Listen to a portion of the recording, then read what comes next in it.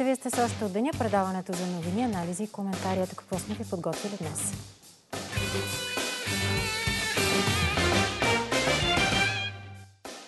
Бизнесът и кризата. Какво мислят работодателите за мерките? Разговор с Красимир Дачев, заместник-председател на Българската търговско-промишлена палата. И още. Зелената сделка и ядрената енергетика. Възможен ли е седми блок в Козлодой? Дискусия между енергийните експерти Любомир Денчев и Иван Хиновски.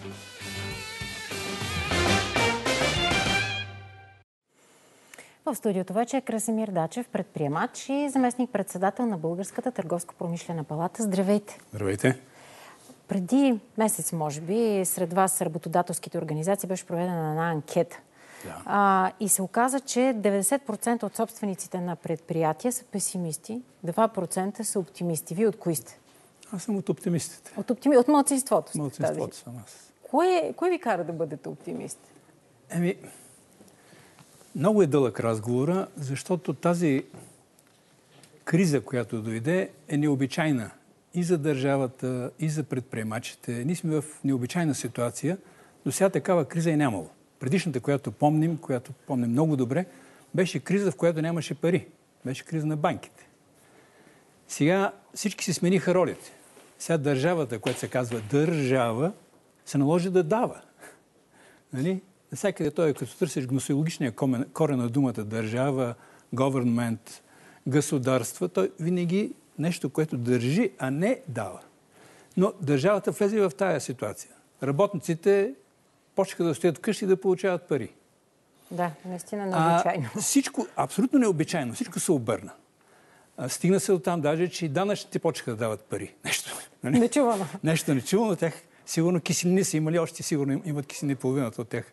Но едва ли за бизнеса това е добре? Да стои затворен Естествено, и да получава някакви средства, а кой изобщо ги получава, защото Естествено. тук също е, това е един от големите проблеми. Не. Много ваши колеги се оплакват и казват, че дори не са получили някои малки и средни предприятия още от първото затваряне, обещаните средства. А, Каква аз... е всъщност, само да, да. Да, да, завърша въпрос да. и ще ви дам възможност да кажете впечатлените си, какъв точно е размера на бедствието за бизнес? Не, размер е много голям, защото той не е в България. Раз... Бедствието извън България, пък ние сме свързани. Ние сме малка държава, която е 50% вноса и 50% износа и зависят отвънка. Трябва да мине границата. А там няма никой. Всичко е спряло. Така че ние за това страдаме. Но искам да ви кажа, че а, има също алогизми, а, аномалии през миналата година. Независимо, че няма пари, потреблението е значително увеличено. Това на какво се дължи според вас? При положение, че има затворени бизнеси, при положение, че хората си стоят вкъщи, а, заведенията са затворени, цял и... един сектор е блокиран. да. И данъчни взеха повече пари, събраха от ДДС. Да. Какво значи това? Кое означава, че повече плачим, а пари има. Както и в обращение, както и консумираме. Но ние по, по традиция си плачем, ние се оплакваме. Искам да ви кажа, че всички добре структурирани фирми, които работят на светло, които бързо могат да работят с държавните органи, нямат проблеми. Имат голям проблем фирмите, които не знаят къде е данъчното. И може би затова миналата година, за да почнат да получават пари от помощите, те първо трябваше да се издължат към данъчните. Искате и да кажете, увеличиха. че тези, които до сега са крили и не са били честни с държавата, да. с данъците и са били в сивия сектор, те сега са тези, които плачат, както казвате вие. Да. Така ли? А Обикмен... честният бизнес, той до сега, не страда. До сега не съм чувал някой, който е добре структуриран, прозрачен, на светло. Не съм чувал да се оплаква. А, дали обаче наистина е само така? Не, Вижте естествено, колко хора има. спряха да работят. Независимо дали са били честни или не. Значи не е толкова розова картинката, както е описвам. Нали? Това трябва да е ясно. Не може да е добре, когато всичко е спряло или полуспряло. Не може да е добре. Теоретично не може да бъде добре. Но пък много пара се изля. Е, колко много? много. Дори и това казва, че не е много, защото не стига... А... Никой няма да е достатъчно. Искам да ви кажа, че аз ако тръгна сега дам на всеки срещна да му давам по 100 лева, той ще каже, той ще дава по 100, що не да по 150. Никога. Кога някой, който получава пари, ще каже, че съм е достатъчно? И аз, и аз искам повече да получавам. Нали? Тоест, ако ви попитам, изоставен ли е бизнесът или е добре обгрижен в тази ситуация, какво ще ми отговорите? обгрижен. Дали добре, дали зле е дискусионно, защото аз ви казах, ние сме в необичайна ситуация. Нито държавата знаеше какво да прави, защото вече той колко? Мина една година, мина ли? Мина една да. година, Аз вече е толкова вече. еднообразно, че вече губих представа от времето. А, нито държавата знае какво да прави. Държавните чиновници изяваха половината за да работят а, разделно, за да не се заразат. И вместо да изчистят стари преписки, които са от 15 години, от 10 години, от, нали, сега като няма такова напрежение, те затлачих още работа. Добре, мерки има, казвате вие. Да. Дали добри или лоши обаче са мерките? Ефективни ли са мерките? Защото вие казвате необичайна ситуация. В една необичайна ситуация винаги се изискват и необичайни действия. Да. А, ефективни ли са мерките обаче? Според мен са ефективни. Мога да ги критикувам. Значи, когато едно дърво засредете пред мене, което е похвално нещо, аз ще ви намеря 20 косура. Нали, някой, който работи, винаги може да му намериш косури. Въпросът е, че имаше добра, имаше политическа воля за даването. След това се оказа, че администрацията не е състояние да раз, раздаде тези пари. След това се оказа, че фирмите не са готови, нямат съответната кит от документи, които трябва да пресават, за да получат парите. Всички искаха, отивам и да получавам пари. Но то не става така. Трябва да си подготвен, трябва да имаш отчети, баланси, платено, всичко тара-дара-дара. Ако трябва да обобщим и да направите извод в тази посока, в която сега говорите, какво да. всъщност показа кризата?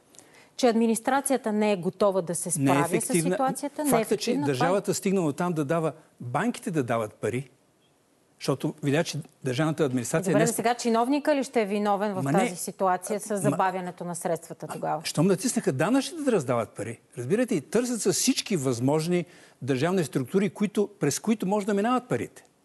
Нали? Защото се казва, че недостатъчно бързо се обработват документите. Нали? Това е. Добре, да, ма не може само администрацията и държавата да са виновни. Вие сам преди малко казахте, че и бизнеса не е бил не, не, на място. Значи аз не казвам. Казвам, че е комплексно, защото необичайна ситуация е за нас. Затова много хора, които тръгнаха да, да искат помощи, трябваше да се оправят дворчето, да отидат да сплатят данъците за минали години, за миналата година и затова данъци събраха повече пари. След тази една година как смятате, а и освен наблюдения, вероятно и вътре в самите организации помежду си общувате и правите такива анализи, има ли ресурс бизнеса сам да се спаси или разчита само на държавата? Естествено, че не всички имат ресурс. Някои, които са по... които са рискували, които са правили малко така авантюристични инвестиции, когато са наскочили сянката, сега ще пострадат малко. Но той, който си е правил добре сметката, който се е заделял резерв, нали, би трябвало да може да изтиска една година или повече от година. Добре, какво тогава ще, ще кажете и как ще коментирате факта с напрежението, което съществува още от началото на кризата с ресторантьорския бранш, Ма, с хотелиерите? То е неизбежно. Значи, първо, неизбежно. Второ, държавата направи много за тях. Те се оказаха най-ценната, най-голямата, основната част от, от българската економика. Не е ли така? Съгласен съм, но ако видите какъв е техният принос, влезте в данъчно да ви направите една сметка какво са внесли данъците и тогава да говорим. Защото иначе, ако ги слушате сега, те е, са, е, 600 хиляди, една четвърт от българска економика са те. Което не е вярно. А как е? Няма как да бъде вярно. Затова ви казвам, че те, те са бранш, наистина, хората, които са работещите вътре работят, са ударени.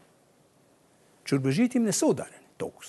Сигурен сте в това, което Сигурен казвате съм, защото... сега, освен, че ще ги ядосате. Аз мога да ги ядосам, но искам да ви кажа, че а, факта, че намалих им ДДС-то и това въобще не се отрази никъде, Никъде. А не беше ли точно така и в началото обяснено, че да, това намаляване на ДДС-то няма всъщност да се отрази нито на нас като клиенти, но на мен... ще им помогне на тях? Еми това означава, че ми влизат моят джоб. Ако намалят ДДС-то на фабриката и не влезе при работниците част от тая Значи ще влезе в моят джоб. Ако имахте заведение, нямаше да говорите така. Съгласен съм. Дачев. Значи, не, не са чернобели нещата. Съгласен съм. И те, и те страдат. И те имат инвестиции. И те имат проблеми с данъците, с отпадъци, Добре. че плащат, че не, не генерират отпадъци, пък плащат, че не правят, не ползват, пък плащат найеми. Те неща са ясни, те са задължителни. Нали? Няма, не е еднозначно.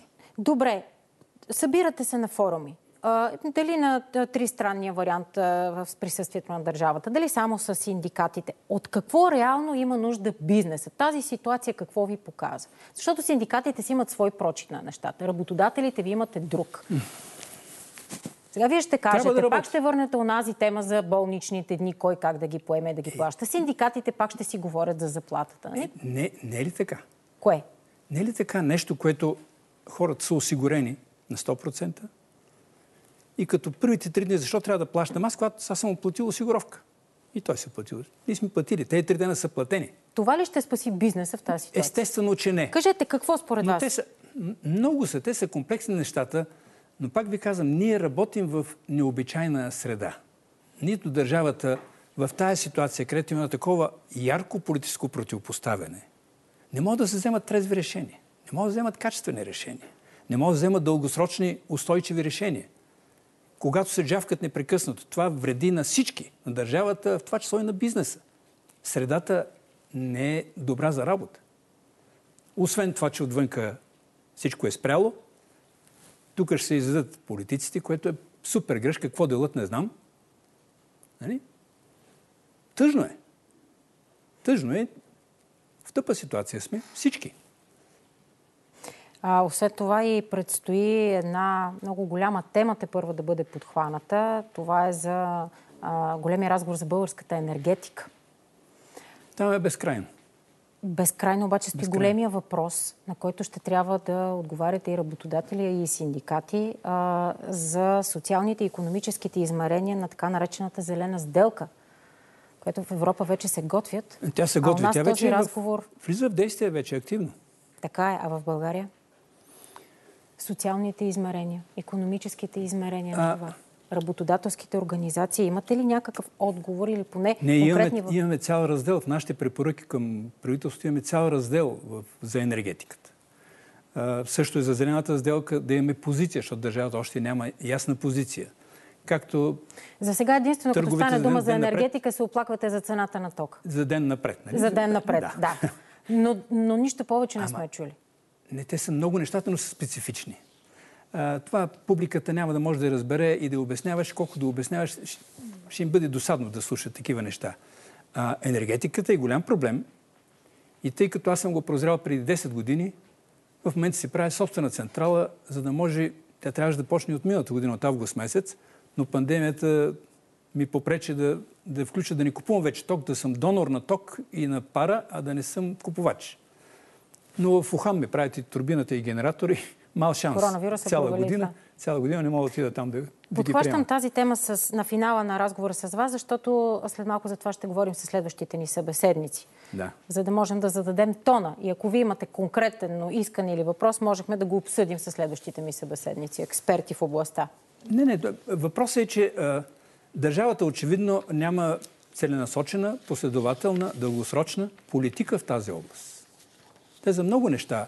Но аз пак казах, ако няма това политическо противопоставяне, няма как да има такова избори дългосрочно са. решение. Избори са. И винаги е било така преди избори. Ама нищо те да си играят на войници, но държавата си иска държавническо управление.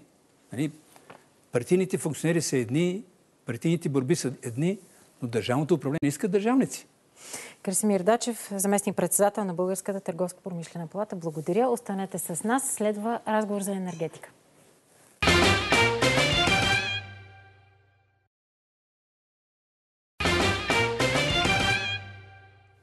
И така, обещах ви големият разговор за българската енергетика. Тук с експертите Любомир Денчев, енергиен експерт, беше изпълнителен директор на Българгаз и Иван Хиновски, председател на Български енергиен и минен форум. Здравейте, господа! Здравейте! А, предишният събеседник а, завърши разговора с а, това, че политиците нямат държавническо поведение. А, има ли идея какво ще правим с енергетиката през следващите 10, 20, 50 години? В контекста и на зелената сделка, и на това, че трябва да се затварят за голяма жалост все още няма идея прията с консенсус. А, и ние ще се обърнем към следващия парламент с едно обращение на нашата организация. Още в първите няколко месеца, ако са в състояние да приемат една консенсусна програма, защото редица проблеми чукат на нашите врати, всички страни около нас имат концепции дългосрочни за развитие, ние все още нямаме такава. Господин Денчев. Нищо друго не мога да кажа. Нямаме, имаме много идеи, само че от идеите до, до стратегия и до, до плана за енергетика и климат а, има голямо разстояние. аз не виждам. А, говори се, че има стратегия вече, нова енергийна. Май никой не е виждал. Освен това, тя трябва да начертае основни цели, приоритети, аспекти в плана за енергетика и климат. Това трябваше да се превърне в проекти, т.е. да има съгласуваност между тях. 2035 трябва да си затворим тецовете, нали? Хубаво, дерогация, дерогация, ама тя е до време, не е ли така? Аз как? дори смятам и се опасявам, че това ще стане и по-скоро. А, и то не ние ще ги затворим, те ще се затворят поради загуба на конкурентна способност. Добре, обаче как ще функционира системата ни при положение, че в енергийния микс въглишните централи имат съществен дял? Отговорът какъв сценарий. е според вас? Тук стигаме до тази концепция, за която казах в самото начало. Тези централи никой не ни ги затваря. Подчертавам из, излишно. Скъпата енергия от тецовете ще ги направи неконкурентно способни. И ви давам един пример от един наш анализ за, за миналата година. За 9 месечето себестоеността на електроенергията, чистата, на държавната ТЕС Изток 2 е 190 евро на мегаватт час, а на Контур Глобал, която всички смятаме скъпите а, а, американски централи, е 166 лева на мегаватт час. Давам пример това не за друго, защото доброто управление, ефективният менеджмент е посоката, в която тия централи максимално дълго ще ги оставим в експлоатация. Господин Начев.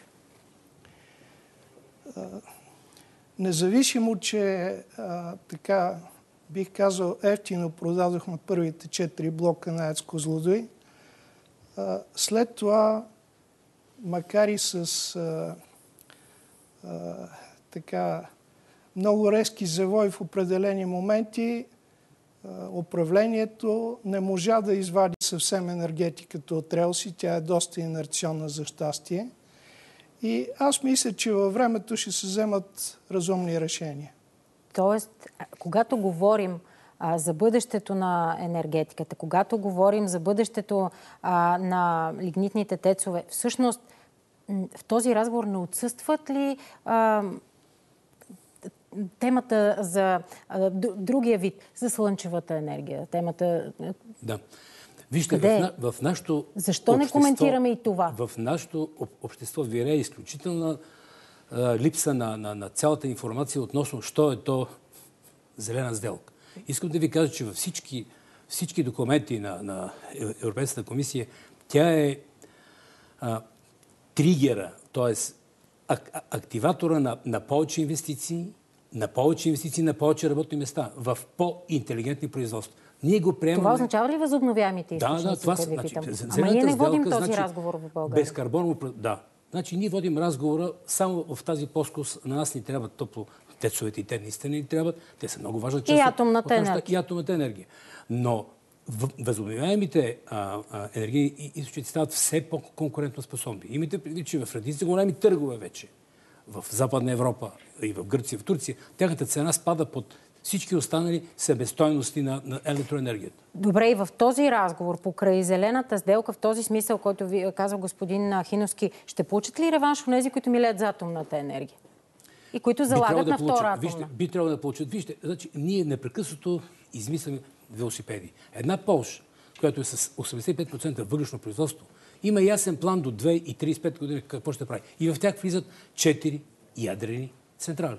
Любомир Данчев. Много се радвам да чуя, че господин Хиновски има такава позиция. Той преди имаше доста скептично отношение. Против Белен. Говорим, аз съм бил винаги Ема... против. Белен е друго нещо. И като говорим за втора атом, на къде? В Козлодуй. А вие е сте... Е най-добрият.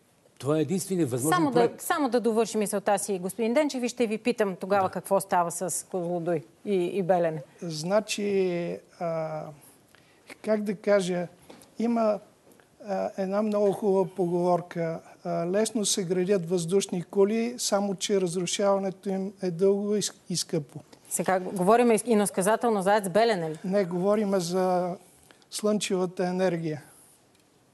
Чувате ли? Какво ще вижте, кажете на това? по, по, по темите си изказват всеки е свободен. Хелепа във Фейсбук колко мнение има. Ема как? вижте, Господин Денчев не, не, мнение, не дава мнение от Фейсбук. Няма значение. Аз, аз няма да спра с него колко, колко пъти правил проекти за фотоволтични централи или пък е анализирал проблемите при, за изграждането на блок 7 в Азкозуи, защото ние сме го правили многократно. Ние сме управлявали такива големи проекти инвестиционни и ние знаем много добре препятствията. Предупреждали се многократно Министерството, че АЕЦ Белене няма да се случи, защото е тръгнал по порочен път. И, и ние тук сме справили при вас, с професор Тасев, да, Бог да го прости. Светла му памет. Да. А, защото този проект още от 2003 година, нашите анализи показват, че този проект не може да се случи. Ама означава ли сега това, че тази идея, защото то не е решение все още, да, а идея да. да се вземе един реактор и да се а, направи а, седми блок в Козлодой, че по този начин се слага точка на, на проекта Белене и че това е работеща идея? Това ли ни казвате? Да, аз ви казвам, че имаме много ясни критерии и, и много ясни резултати от, от анализите. Обаче господин Денчев се усмихва скептично. Може да се случи този блок и то в сравнително кратки срокове, защото там имаме а, изключително добре развита слушах, инфраструктура. Слушах ваши колеги по темата, които казват, че по-рано от 10-15 години това не може да стане. Това сравнително кратък срок ли? А, а Белене от 30 години какво се случи? Господин Денчев, кажете, само се усмихвате скептично. А, Искам да ви кажа следното. А, макар, че имаме някои различия с господин Хиновски, ние се познаваме с него от около 40 години. И сме били колеги в енергопроект. Чували сте, може би, какво е енергопроект? За мое съжаление, да, явно съм достатъчно така, голяма, че съм чувала. Мозъчният Обаче... тръст на енергетиката в продължение на близо 40 години. Е... И ще ви кажа няколко имена на хора, които в тези 30 последни години се опитаха да внесат здрав разум в развитието на енергетиката или поне забавиха разрушаването й. И, и тези имена са, са публично известни. Става дума за, за Кирил Цорчев, за Румен Овчаров, за Иванка Диловска, за Светла Тодорова, за Никита Шервашидзе. Господин Овчаров беше тук. С него разговаряхме точно за тази идея, за седми блок на АЕЦ Козлодой и евентуално той беше изключително скептичен по въпроса. А, вижте, го споменавате, значи, да седми, седми, осми блок на Козлодой, също както и Белене, са влезли в програмата за развитие на българската енергетика още в а, една разширена концепция на енергопроект от 1987 година. Имам ги в къщи няколко дебели тома. Така че и едното и другото имат място в енергетика. Тоест 2021 Само, проекта Белене мислите ли, че ще се раздвижи и е възможен? Не, ами, за, зависи Гарантирам. кой го движи. Гарантирам, Добре, хайде по друг начин. Кое от двете неща а, по отношение на срокове, пари и инфраструктура е а, рентабилно и е възможно да се случи? Седми блок на Аяц Белен или Аяц Белен? А, на Козлодой или Аяц Белен? Седми блок на АЕЦ Козлодуи много разчети показват, включително и проектографици за изграждане, с всички етапи. В момента трябва да, да се направи нова нотификация на проекта, но проектът има УВОз. Трябва да се направи нов технически проект, защото на Белене, дори да започнем от изходно положение двата проекта, Белене е загубил правото да се развива повече. Неговото разрешение за проектиране е изтекло преди 4 години. Той трябва да почне всичко от начало. Не е ли така, господин Денчев? Значи, сравнявайки в годините напред, ако се развие един или другия проект, Белен естествено има предимство. Само че аз разбрах, че има работна група, която ще прави този анализ. Економически, финансов.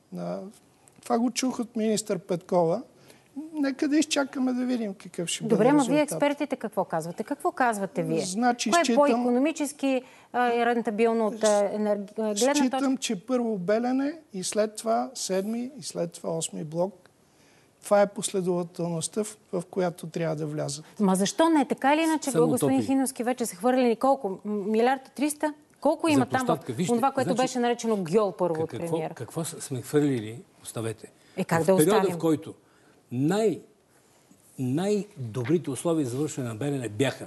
Имахме стратегически инвеститор, една голяма ядрена немска компания РВЕ. Всички условия, пълен консенсус. Този, белен, този проект не се случи. Ма вие какво ни казвате сега? Анализите... Че те милиард и 300 трябва да се занулят? Да, милиард и 300. Не, оборудване. Това оборудване отива цялото на 7-8 блок. Не, не е така. Но вижте, спестявате Ма и 8 много... блок ли ще има? 7 и 8. Те се замесваше 5 и 6. Това ама, е, ама е пети, и шести, пети и шести концепцията е, че могат те по принцип нали, до 2050 година да се експлуатират, но има една идея, че всъщност а, живот им ще бъде удължен на реакторите. Всички се надяваме. Но вижте, влизаме в една процедура на все по-отежняващи се лицензи от гледна точка на, на, на безопасността. Ние имаме периоди по 10 години.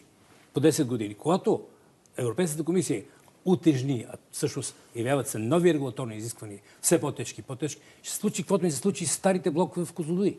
Ние мислехме, че са най-безопасните и изкараха ни вода от 5 дола да кажат, че те не са а, достатъчно безопасни. Така че, вижте, нека да мислим за 5 и 6 блок в перспектива. Да, колкото може толкова. Но, ако сега започнем, защото цялата инфраструктура, знаете ли за, за АЕЦ Белене колко неща трябваше да се изграждат на първо, които ги има в Козлодуи? Това е техническо водоснабдяване, стотици милиони инвестиции, система за радиационна а, безопасност, аварийно планиране, тренажори. Маса, това са а, нова връзка с електроенергийната система. Какво отговаряте на всичко това, което чувате, господин Денчев? А, аз ще си спестя отговора, защото това е, това е безкрайен разговор. А, аз си казах мнението по въпроса. Има много детайли. Вчера Богомил Манчев в BTV обясни много детайлно за какво става въпрос. Мисля, че беше достатъчно. Искам нещо друго да ви кажа. Попитахте в началото какво става с енергетиката и на къде върви и така. Знаете ли колко поправки в закона за енергетиката са направени в последните 10 години? Сигурно много. 44. 20 за миналата година. Заповядай. Да. 44 поправки по години. И в каква посока са? Какво е променяно? Какво Лоб... виждате в тези поправки, в, освен че в две насоки. се променя непрекъснато? А, лоши и неадекватни а, действия на законодателите по отношение на имплементиране на европейското законодателство в българското. Е, това е едната, То не трябва ли да има точна посока. синхронизация да, да, с европейското да и българското да, трябва да има, обаче има и грешки в преводите, има и ненавременно а, така прияти неща. Това е едната посока. Втората посока е лобизъм.